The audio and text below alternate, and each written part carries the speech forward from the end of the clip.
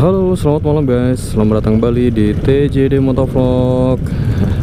Akhirnya gue kembali lagi nge-vlog malam-malam ya. Nggak berasa ya, sekarang udah 2019.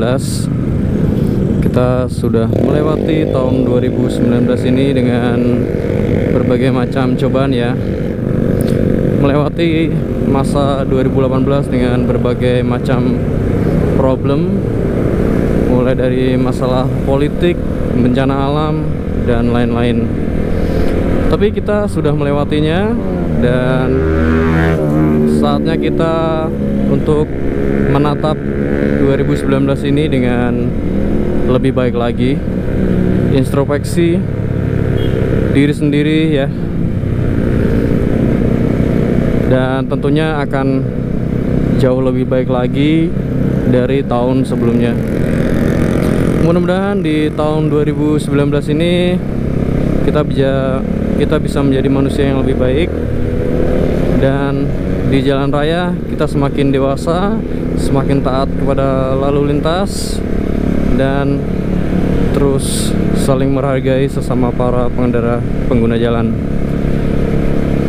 Dan tak lupa gue ngucapin selamat tahun baru buat teman-teman semua para subscriber para penonton mudah-mudahan kalian uh, tidak bosan dengan video dari TJD Motovlog.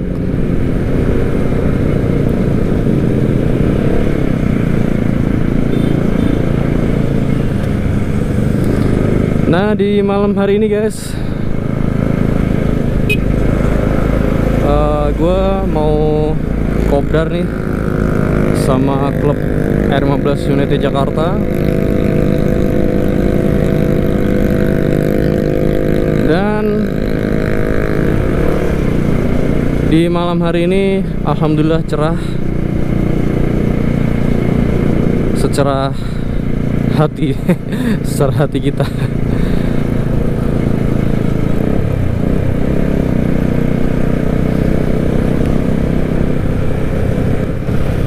Mungkin gue sedikit uh, berbagi cerita mengenai motor R15 versi 2 gue ini ya yang sudah gue pakai hampir 4 tahun. Ini motor gue beli tahun 2015 bulan Agustus. Dan sampai sekarang sudah tiga tahun lebih. Tepatnya 4 tahun di bulan Agustus 2019 dan sejauh ini motor R15 ini gue pakai fine-fine aja. Belum mengalami kendala yang berarti. Sedikit mengalami error di bagian kiproknya kemarin guys dan alhamdulillah setelah motor dipakai selama tiga tahun baru pertama kali baru sekali ganti kiproknya. Dan mengenai motor R15 ini ya gue pengen ngebahas uh, gue pengen ngebahas tentang kelebihan dan kekurangan mungkin lebih tepat mengenai kekurangan aja ya. Takutnya kalau misal gue bahas mengenai kelebihan takut dibilang sombong takut dibilang bangga ya. Gue bahas kekurangannya aja. Jadi mungkin uh, udah banyak ya motovlogger yang ngebahas mengenai kekurangan dari R15 ini. Yang pertama yang gue rasain ketika menggunakan R15 ini adalah awal-awal motor ini tuh nunduk banget guys. Dan kalau misal belum kalau misal baru pertama kali pakai motor ini tuh akan berasa sangat pegel banget ya di bagian pundak. Karena harus menopang bagian tubuh bagian atas ya. Ya karena nunduknya itu guys. Tapi kalau udah terbiasa sih ya nggak uh, terlalu capek lah pegelnya. Nggak terlalu capek lah ketika menggunakan motor ini tuh. Tapi kalau udah terbiasa nggak terlalu capek lah guys. Terus kekurangan yang kedua itu adalah motor ini tuh tankinya terlalu kecil. Jadi uh, kalau misal kita lihat kalau kita lihat eh, detail-detail uh, banget itu uh, tankinya itu kebanting sama bodi depan guys. Kebanting sama headlampnya. Jadi terkesan motor ini tuh tankinya sangat kecil. Apalagi model tankinya itu seperti motor fiction alt ya. Mungkin itu salah satu kekurangannya juga. Terus kekurangan yang ketiga ini adalah kiproknya. Ini Yamaha menggunakan kiprok pada R15 versi 2 itu dengan kualitas yang menurut gue sangat buruk banget ya. Apalagi di awal-awal motor ini keluar banyak sekali para pengendara yang mengalami trouble di bagian kiproknya.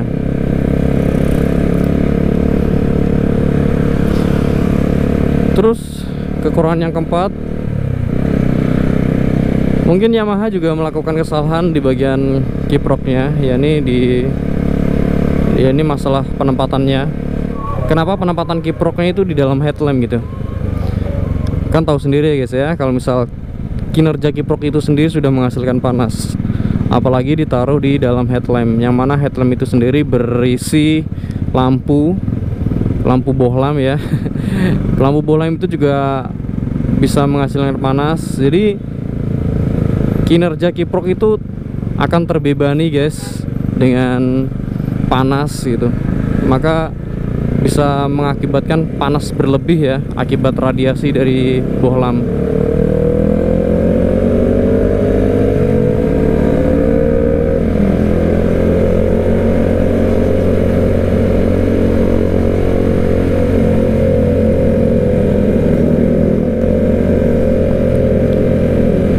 terus kekurangan selanjutnya sok belakang guys.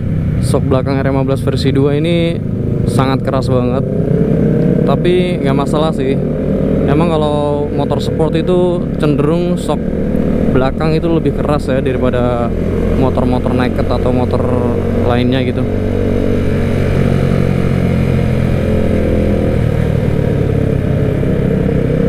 Nah, belok ya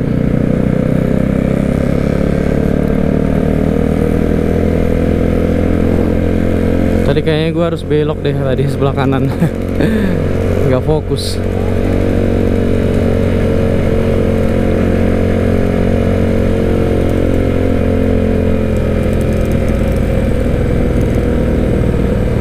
Ya mungkin itu aja sih uh, yang bisa gue sampaikan ke kalian. Dan oh ya gak, gak ketinggalan gue pengen sampaikan juga mengenai uh, kekuatan kiprok ya. Motor R15 gue ini semuanya standar guys. Dari kelistrikan lampu-lampu itu semuanya standar. Dan gue pakai R15 ini setelah pemakaian 3 tahun lebih baru sekali ganti kiproknya.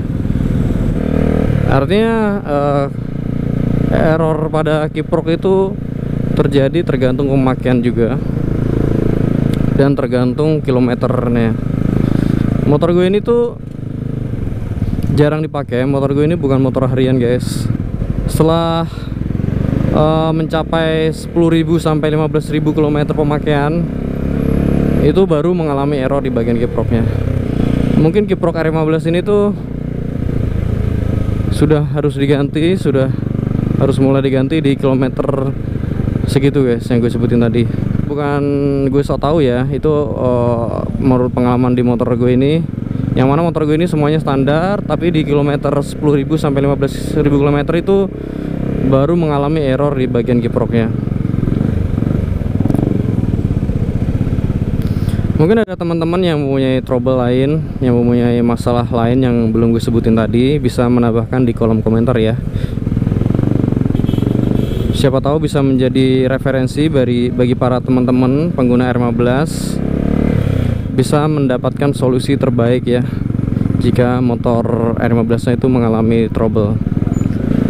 Oh ya bagi teman-teman yang baru bergabung yang baru di channel TJD Motovlog ini gue harap kalian mau dukung gue mau support gue dengan cara subscribe channel ini ya biar channel ini terus berkembang dan gue bisa terus semangat membuat video-video bagus ke depannya. Dan bagi teman-teman penonton setia para subscriber mungkin bisa memberikan uh, ide apa ke depannya yang pengen gue bahas. Mungkin teman-teman bisa merequest di uh, komentar ya.